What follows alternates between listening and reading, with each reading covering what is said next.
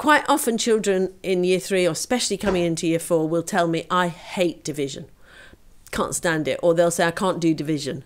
And quite often, if you're teaching division, you find that children who've been rolling along just lovely with multiplication are really starting to have problems when you throw a division into the situation. Quite often, they have a confusion between division, which we all know is grouping, how many groups of five are there in 30, and sharing.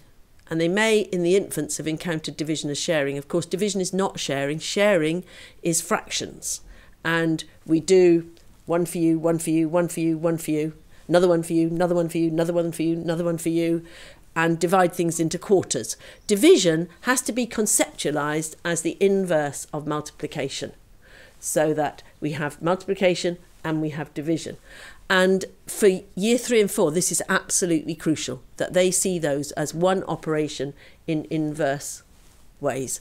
So the, the, they obviously start multiplication by clever counting, counting it in the infants, counting in fives, counting in twos, counting in tens. But they move on fairly quickly to represent that physically with arrays.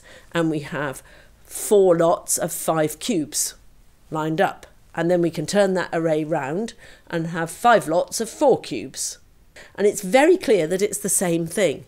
So getting those arrays and using those arrays to physically represent those multiplication sentences is absolutely key in year three. And indeed, even still in year four, some children may need to go back to that physical array to turn it round and see the commutativity of multiplication in that way. Once that is robust, once that's solid, children can move on to division. And I always say to children, divisions are just multiplications with holes in. And how we do that is we say, well, you can say six lots of five is 30, but you could say how many lots of five is 30. Putting the missing box in that position turns that sentence into a division. Of course, the answer is done by counting in fives, so 5, 10, 15, 20, 25, 30. The answer is 6. But the question is how many lots of 5 makes 30?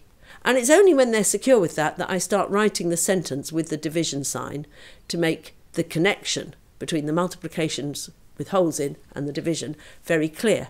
And at that point, we can go on to do really quite big divisions. So we can do things like 54 divided by 3. Well, I could count in threes three, six, nine, twelve, but I'm going to run out of fingers. So let's start with what we know. We know that 10 lots of 3 is 30.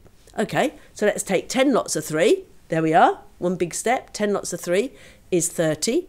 And now how many have we got to do? We've got another 24 to do. So how many 3's in that 24? And then we see clearly that it's 18. Depicting this on a number line is a very helpful image because one big step from 0 to 30, that's 10 lots of 3, and then individual jumps of 3, steps of 3, up to 54. So that we are actually getting into doing quite large divisions very simply, just by using the notion that division and multiplication are inverse operations. It's mathematically robust, correct, and it's also very clear to children what's going on, so it's win win.